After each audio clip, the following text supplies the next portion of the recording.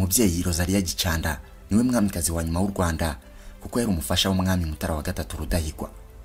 Uyu mubyeyi ndavuga Rosalia Gicanda hagarukwaho nka nyina wabo wa perezida wa Repubulika y'u Rwanda Paul Kagame umugabo w'igihangange ufite ibigwi n'amateka ntagereranwa mu isi nzima wahagaritse jenoside yakorewe abatutsi akongera kurema u Rwanda bundi bushya.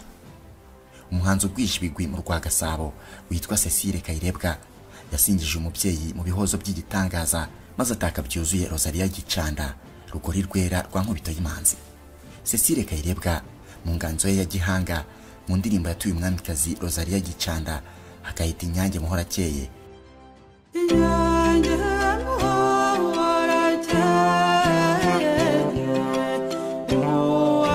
uw'abana twaganaga.